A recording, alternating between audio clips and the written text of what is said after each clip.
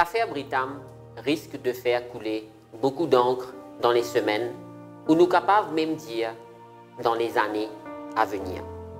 Depuis, publication rapport de la commission d'enquête sur Britam Holdings Limited, Kenya, qui est déposé au Parlement mardi 27 juillet.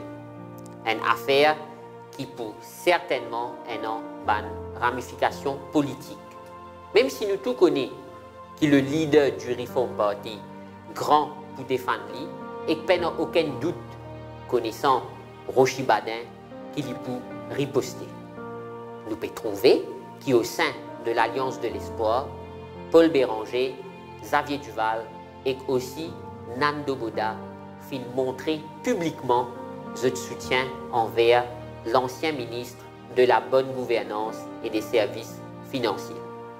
La question qui nous impose, nous, c'est est-ce que sa solidarité-là n'est pas circonstancielle et qu'il n'est pas pour étonnant pour trouver qu'ils sont capables de désolidariser de Rochi si demain l'affaire Britam prend un autre tournure? Dans toute sa équation, côté un côté le gouvernement en mode de guerre et l'autre côté l'alliance de l'espoir qui prend position pour Oshibatin, le lion politique Navin Ramboulam lui paraît en mode observation et qui prendre tout seul temps pour faire ce prochain move politique.